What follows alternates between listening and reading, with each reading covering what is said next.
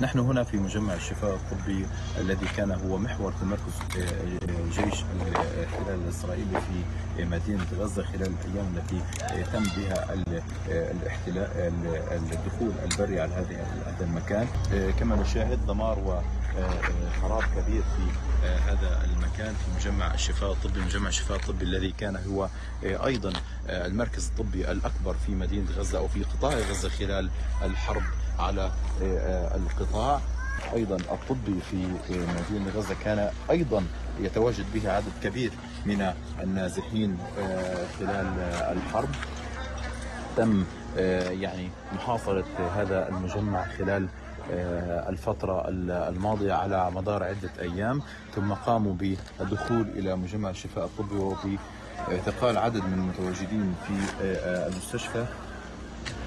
كما نشاهد يعني مشهد صعب جدا. دمار كبير هنا في مدينة غزة في أحياء المدينة في الشوارع. أيضا وجدنا عدد كبير من الجثث في الشوارع والأحياء القريبة من مستشفى الشفاء الطبي مثل شارع الرمال وشارع الوحدة والأحياء القريبة من شارع النصر. وهذه هي المشاهد التي شاهدناها اليوم.